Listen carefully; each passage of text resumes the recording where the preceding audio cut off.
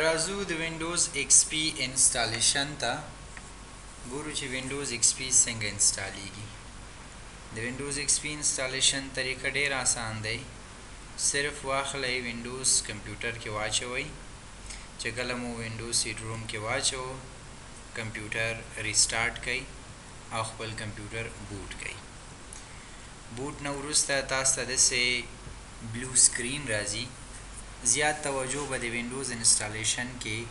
د قلاندې ساحه کې وکړئ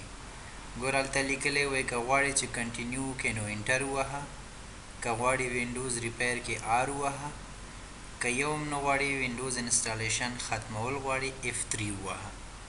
نو موږ غواړو اوس وینډوز انسټال کړو نو پکار ده چې انټر ووهو نو چې کله انټر بټن پریس کړو د انسټالیشن لومړنۍ پروسه پیل شو بره تاسو دلته هم لوستلای شئ تاسو ته ټول هدایت لیکي چې څه وخت کې باید کوم بټن پریس کړئ وینډوز ایکس پی چې کله انسټالوئ زیات مهم کار په دې کې همدغه لاندې ساحه ده چې دا باید تاسو ولولئ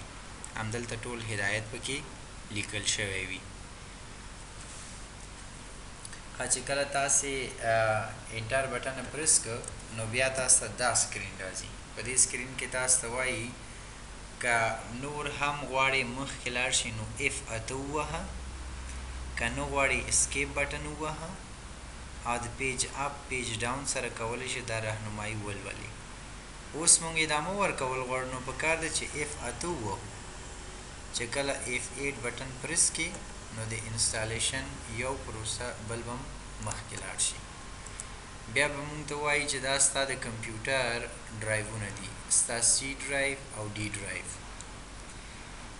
غواړي چې په دې کې پارټیشن وکړي او که انسټالیشن وکړي که غواړي چې پخواني ډیټا ټول ډیلیټ کړي نو لاندې وګوره درته وایي انټر ووهه چې په همدې ډرایف کې وینډوز انسټال کړو بغیر د پارټیشن نه که غواړې چې پارټیشن وکې نو کوم ډرایف چې کریټ نه دی او هغه به کریټ کې د کریشن د پاره مونږ تاسې سی بټن ووهو او که غواړو چې دا ډیلیټ کو نو ډی بټن ووهو ډي بټن ووهئ انټر وکړئ بیا ډي ووهئ انټر وکړئ په هر یو ډرایو چې ولاړ یې ډي ډیلیټ ایل ډیلیټ خلاص هغه ډرایو ډیلیټ کړئ او که نوی پارټیشن کوئ نو سی باندې کلیک ولګوئ چې ډرایوونه تاسو ته بل کریټ کی نو اوس دغه دویم ډرایو باندې ولاړ یو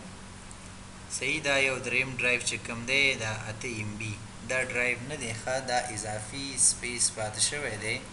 د هغې بره دوه ډرایوونو نه نو دا تاسو کولای شئ چې ډیلیټ کې دا چې ډیلیټ کې نو دا سپیس به اتوماتیکلی بل ډرایو ته ورکول کیږي دام کوي شي او بل دا یاد ساتي چې دلته سپیس تاسو ته همیش سایز په ایم بي خي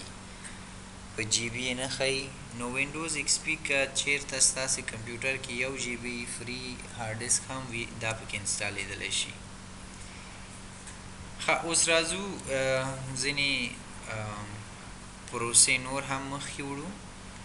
کوشش وکړئ چې د وینډوز ایکس پی انسټالیشن وخت کې دغه لاندې ساحې ته ضرور وګورئ ټول هدایت عمل ته پاس شوی عمل ته لیکل شوی دی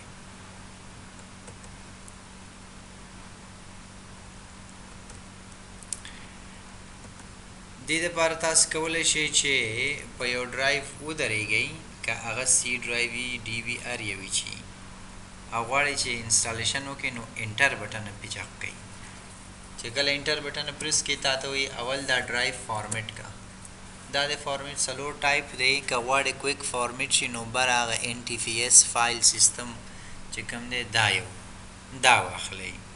نو دا نیو ټکنالوژي فایل سیستم دی دا هم فارمیټینګ کوي خو لږ شانته د دې نور دریو نه لږ ذره فاسټ فارمیټینګ کوي او هغه نور چې کوم دي سلو فارمیټ کوي خو صحیح فارمیټ کوي چې کله دلته ورسېدې اوس په همدې کې فارمیټ کول غواړي انټر وکړه او که په دې بل ټایپ فارمیټ کوي نو په دې بل باندې ایرو کی سره ښکته شه او بیا انټر وکړه نو ما هماغه برنی اول انتخاب کړی دی او هماغه باندی انټر لګوم چی کله انټر ولګی نو بیا تاسو سره چی وشی په دی طریقی سره فارمیټنګ شروع شی دا اوس هغه ډرایف فارمیټ کوي پاک کوي کوم کی چی پخوانی وینډوز پروت دی بعد د هغی نه ستاسو د کمپیوټر د فایلونو کاپی کول شروع کیږی وینډوز ایکس پی پروفیشنل شروع شو د کاپی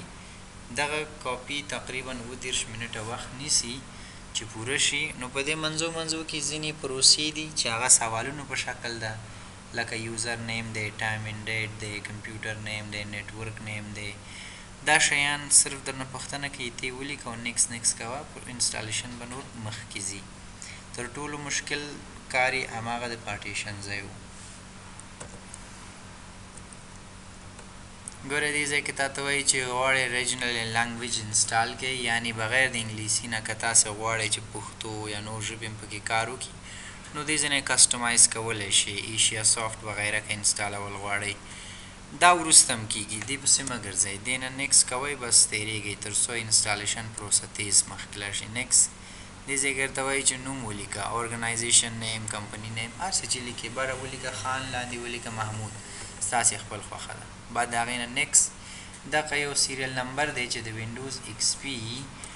په دې سي ډي پوښ باندې وي، هغه پلاستیک کې لاندې سیریل نمبر وي، پنځه سیریل نمبر وي، هغه به دلته تاسې هلته ګورئ او دې ځای کې به ټایپ کوئ. چې دا پوره شو، بعد د هغې نه Next وکړئ. دې ځای کې تاته وايي که که غواړې اډمنسټرېټر کوم پاسورډ ورکړې او کمپيوټر نيم ورکړې دا برنی به ستاسې کمپيوټر نيم شي دا به اډمين پاسورډ شي که نه ورکول غواړې بس کمپيوټر نيم بای ډيفالټ راځي او پاسورډ که نه غواړې همداسې خالي هم پرې غوستی شې بس نيکسټ باندې کلک وکړئ خلاص او که ليکئ څه شی وليکئ دا اډمنسټرېټر پاسورډ دی. چا سره که دا نی بیا کمپیوټر کی تغیرات نشی راوستی انسټالیشن وغیره نشی کوی او که داسی نه لیکی می لیکی بعد د هغی نه بس نیکسټ باندی کلیک وکړی بیا دا ته وایی ډیټ ان ټایم وغیره انتخاب که دا ټول شیان وروسته هم کیدای شی اوس هم جوړولی شی بس نیکسټ باندی کلیک که دا ټایم زون دی دا واخلی لکه زمونږ ټایم زون چی کوم دی کابل دی. صحیح کابل به واخلو او بس نیکس باندې به کلیک ولګي بس دا به پرېږدي په دې شکل کې سیټینګ کې یو ټیپیکل دی یو کسټم دی ټیپیکل واخلئ چې د کمپنی سیټینګ دی او کسټم که چې شی آن آف کول غواړي کسټم واخلئ ټیپیکل باندې به اوس یو نیکس کلیک ولګو بعد دا غي نرته وي غواړي ورک ګروپ کریټ کې ورک ګروپ یعنی په نتورک کې سو کسان غواړي کارو کې دلته دی ورک ګروپ نیم ورکوی او که نه ورکوی ورک ګروپ اتوماتیکلی ورک ګروپ نوم خپله اوچتوی یعنی دا د شیرنګ د پاره استعمالیږی بس نیکس کئ پروسه نو تقریبا ختم دی بس دا به یو ریسټارټ شی ریسټارټ نه بعد برته داسی وایی او بیا برته وایی چه ویلکم وینډوز ستاسی وشو.